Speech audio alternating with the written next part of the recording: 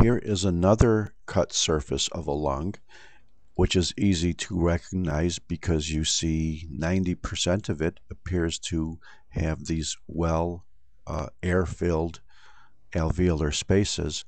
However, the vascular portions, like here, here, here, here, here, here, probably the larger pulmonary arteries, as well as smaller blood vessels like here, here, here, here, here, here, here, appear a little bit abnormal. They don't appear to be nice and open. They appear to be filled with something.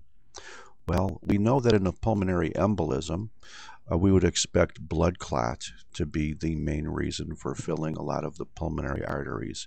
And perhaps I will agree with you that this is blood clot. However, take a look at this area over here.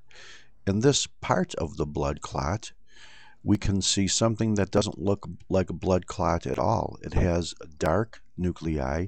It has perhaps an abnormal mitosis over there.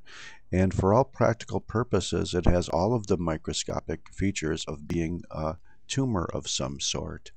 In addition, when you look at the smaller blood vessels, it doesn't appear to have blood clot at all.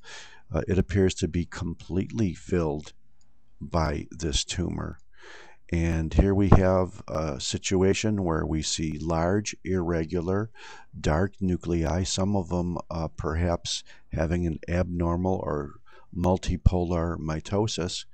And this is a very, very good classic example of uh, metastatic carcinoma involving uh, not only the pulmonary arteries, but even some of the smaller pulmonary vessels as well. Um, it really doesn't matter where the tumor came from. And quite frankly, I don't have the foggiest, but it does look like it is a metastatic carcinoma rather than a sarcoma. Thank you very much.